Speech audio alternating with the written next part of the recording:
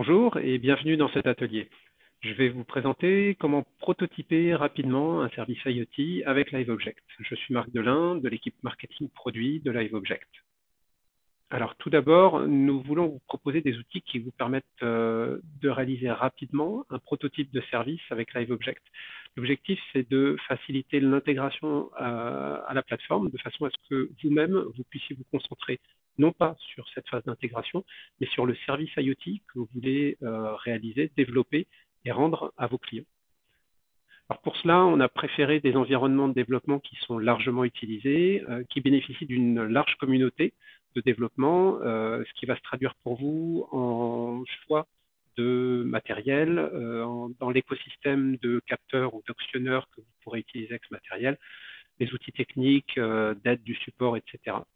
C'est aussi un gage de disponibilité, de facilité d'approvisionnement du matériel euh, que vous allez retrouver euh, rapidement, simplement auprès de revendeurs euh, classiques.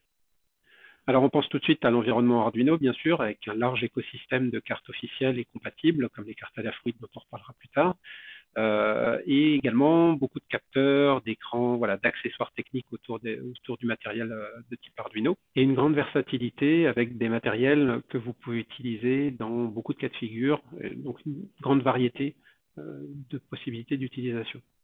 Alors l'écosystème Arduino, c'est plus de 4000 librairies, une très grande communauté de développeurs dans un écosystème open source, euh, des développeurs auxquels vous pouvez avoir accès au travers de forums, de GitHub, etc. Donc euh, vraiment beaucoup, beaucoup de ressources techniques et donc, euh, bah, c'est déjà un environnement sur lequel on propose une carte, par exemple LoRaWAN, la carte euh, LoRa Explorer que vous connaissez peut-être déjà, avec une librairie euh, qui a été développée par Orange et qui vous permet d'utiliser le LoRa de façon un peu plus simple, puisque ça vous évite de manipuler directement une payload en hexadécimal, par exemple.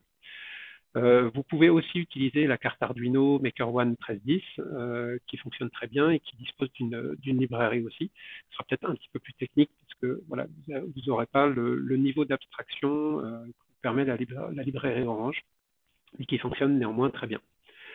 En LTEM et en Wi-Fi, euh, là on a un couteau suisse qu'on a euh, développé cette année avec la librairie Arduino pour euh, LiveObject et qui vous permet vraiment de rendre votre programme Arduino communiquant en quelques minutes réellement avec euh, environ 5 lignes de code. Et donc euh, cette librairie vous permet évidemment de remonter des données, de configurer votre objet ou de d'envoyer une commande à votre objet. Donc euh, tout ce que vous avez besoin de faire avec avec un IoT. Cette librairie prend en charge 6 cartes euh, officielles Arduino, 4 cartes Wi-Fi, 2 cartes cellulaires, une GSM, une LTEM. Euh, ces cartes prennent toutes en charge le MQTT et les deux cartes cellulaires permettent de communiquer avec LiveObject en utilisant le protocole SMS. Cette librairie est également euh, compatible avec euh, les modules expressifs euh, très populaires ESP8266 et ESP32 en Wi-Fi et également en utilisant le MQTT. Alors, la librairie supporte également deux cartes Adafruit pour le moment, une carte Wi-Fi, une carte GSM. Donc les deux supportent le MQTT également. La carte cellulaire permet d'utiliser le SMS avec LiveObject. En parallèle de ça, Orange développe un module cellulaire LTEM en partenariat avec Sequence. Euh, le module Live Booster réunit dans un seul composant un module radio, une carte SIM embarquée avec un Godet Data prépayé. Et Orange a développé une librairie euh, pour l'environnement Arduino qui permet de simplifier, là encore, l'intégration à LiveObject. Donc pour ça, je vous invite à assister à l'atelier animé par euh, Jérôme Pizarre et qui vous fera la démo sur le module et sa librairie. Au-delà d'Arduino, on voulait également adresser euh, MicroPython, qui est un, environnement de développement euh, qui permet d'adresser notamment les processeurs de type STM32, pas uniquement, mais euh, notamment ceux-ci qui sont fréquemment utilisés dans l'IoT.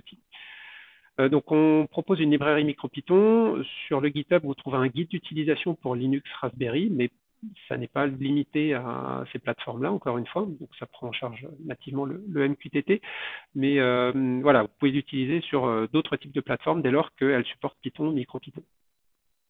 Alors cette librairie est également disponible, par exemple, avec les modules expressifs dont on parlait un peu avant, euh, cette fois-ci, dans une utilisation avec MicroPython. Donc là encore, en Wi-Fi et avec le protocole MQTT. Vous retrouverez toutes ces librairies plus quelques autres dans la documentation de LiveObject. Alors le développement de ces librairies va se poursuivre. En attendant, euh, on peut parler de vous, de vos besoins pour faciliter l'intégration à LiveObject. Est-ce que vous avez une préférence pour un environnement, un langage de développement, une plateforme hardware, etc. Donc n'hésitez pas à venir en discuter dans le chat. Et en attendant, je vous remercie d'avoir suivi cet atelier. À bientôt.